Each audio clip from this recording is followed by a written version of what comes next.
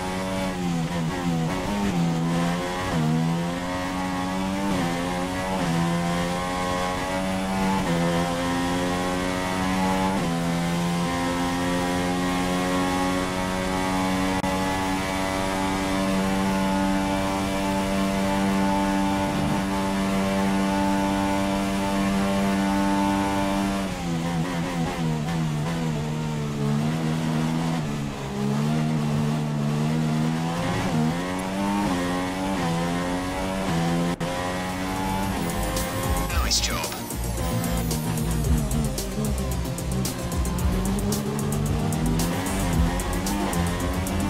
The grid is all set then for the race tomorrow. But before we go, let's quickly remind ourselves of our top three, who are Hamilton, Rosberg, and Sebastian Vettel. With qualifying complete, all that remains is the main.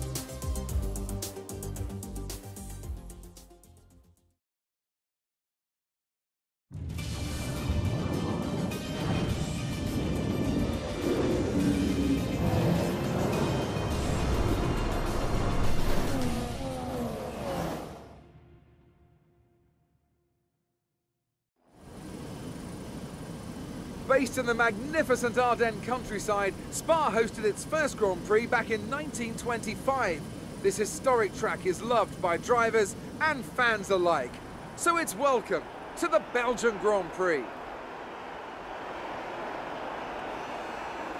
So here we are once again, ready to go racing through the Ardennes forest. 4.35 miles of long straights, fast corners and massive elevation changes. It makes this not only one of the most exciting circuits on the calendar, but one that makes for some consistently high quality racing as well. Sim well then, after an exciting qualifying session yesterday, let's take a look.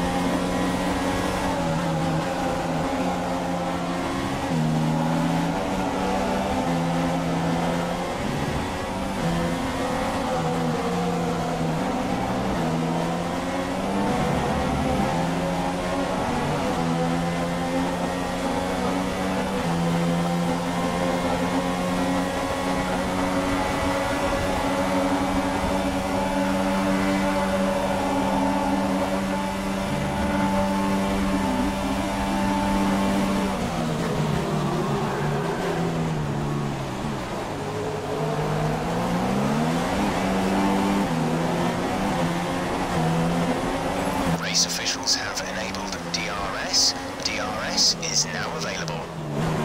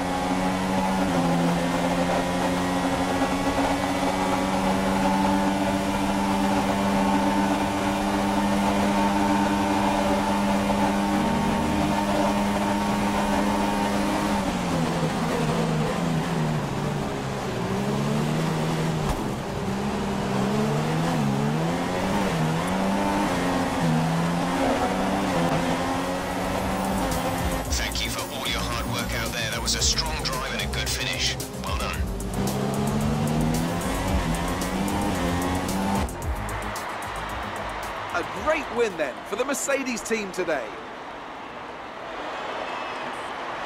Anthony, what do you think made the difference here? Well, I think the track conditions just really suited their car today. Wind, track temperature, you name it.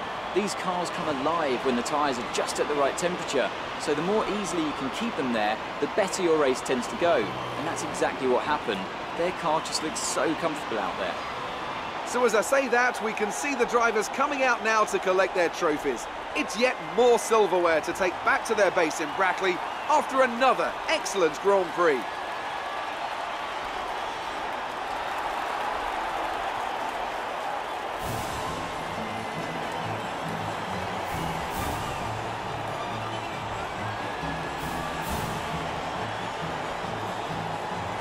And after this round of the World Championship, here's how things look in the driver's take.